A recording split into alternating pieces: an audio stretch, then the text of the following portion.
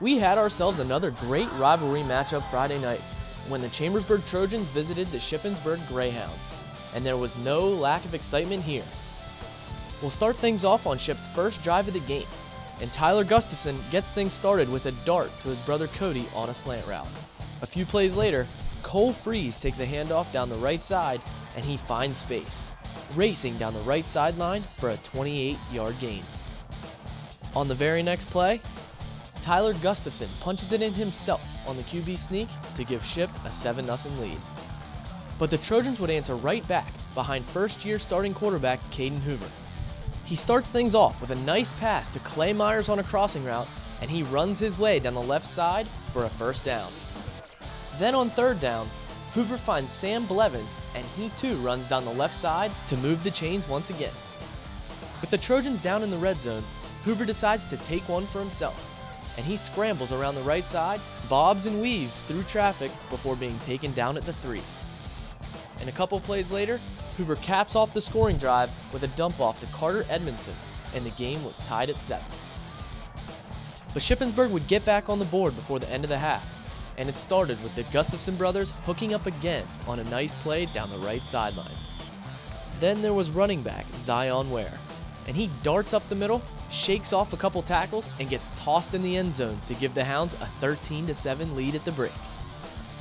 You want to guess who starts things off for Ship in the third quarter? Zion Ware. He sparked the running game for the Hounds on Friday, racking up 181 yards on just 20 carries and Gustafson would finish things off with a nice pass in the back of the end zone for Wade Mills. With less than five minutes left in the third quarter, the Hounds went back to work, and it started with the Gustafson brothers.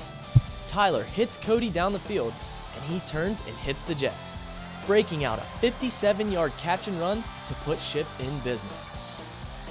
A couple plays later, they hook up again to give Ship a 26 7 lead. And how about that concentration to turn for the ball and stay in bounds? But the Trojans weren't done, and Barrington Slavery was the spark for the offense, starting with this run around the right side for a solid gain. A few plays later, Hoover hooks up with the sophomore again, and Slavery is pushed out of bounds inside the five. And on the next play, Hoover fakes the handoff, rolls to his right, and hooks up with Griffin Leedy for the touchdown and the Trojans would return a punt for a touchdown to make it a five point game early in the fourth quarter. But the Shippensburg defense would make a stand. Two different times after a Shippensburg fumble set the Trojans up with good field position, the Hounds defense got it done, starting with this excellent pass breakup by Dan Lawfer on a fourth and six. The next one came from right inside the 50, and this time it was Wade Mills stepping in front of a pass on fourth and one to give the ball back to the offense. Shippensburg held the Trojan offense to just 74 yards in the second half behind some pounding defense, and the Hounds would hold on for a 26 21 victory.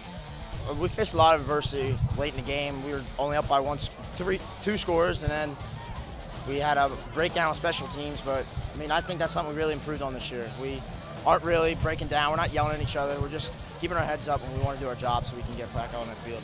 Uh, well, at practice, we really worked on picking up the crossing routes because they really hit that on Greencastle. And then uh, we got on the field and they were just coming with the crossing routes again. So we, we tried to widen out and open up the middle and force them to go up the middle. But it's just the running game, they were, they were effective at times, and we were pretty effective on our own at times too. So we just tried to do our best.